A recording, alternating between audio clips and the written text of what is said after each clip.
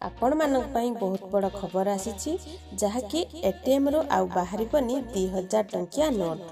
ଦେଶର ବିଭିନ୍ନ ଏଟିଏମ୍ରେ ଆଗକୁ ଆଉ ଦୁଇ ହଜାର ଟଙ୍କିଆ ନୋଟ୍ ଦେଖିବାକୁ ମିଳିବନି। ଦେଶର ବିଭିନ୍ନ ଏଟିଏମ୍ରେ ଦୁଇ ହଜାର ଟଙ୍କିଆ ନୋଟ୍ ରଖିବା ବନ୍ଦ କରିଛି ରିଜର୍ଭ ବ୍ୟାଙ୍କ।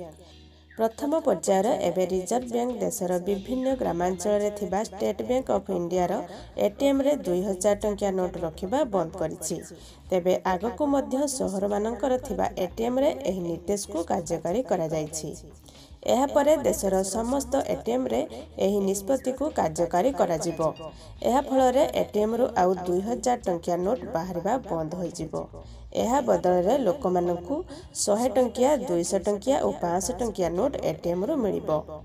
ଦେଶରୁ ଦୁଇ ହଜାର ଟଙ୍କିଆ ନୋଟ୍ ବନ୍ଦ କରିବାକୁ ସରକାର ଲକ୍ଷ୍ୟ ରଖିଛନ୍ତି।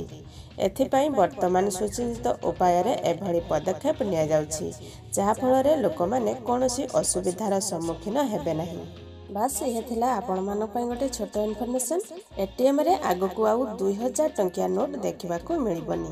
ଏଟିଏମ୍ରେ ଦୁଇ ହଜାର ଟଙ୍କିଆ ନୋଟ୍ ରଖିବା ବନ୍ଦ କରିଛି ରିଜର୍ଭ ବ୍ୟାଙ୍କ। ଖାଲି ଭିଡ଼ିଓ ଗୋଟେ ଲାଇକ୍ କରିଦିଅନ୍ତୁ। ଆଉ ଯଦି ଆମ ଚ୍ୟାନେଲକୁ ସବସ୍କ୍ରାଇବ୍ କରିନାହାନ୍ତି ତାହେଲେ ତଳେ ଥିବା ରେଡ୍ କଲର୍ ସବସ୍କ୍ରାଇବ୍ ବଟନ୍ ଉପରେ କ୍ଲିକ୍ କରି ଆଉ ତା ସାଇଡ଼୍ରେ ଥିବା ବେଲ୍ ବଟନ୍ କ୍ଲିକ୍ କରି ଆମ ଚ୍ୟାନେଲକୁ ସବସ୍କ୍ରାଇବ୍ କରିନିଅନ୍ତୁ।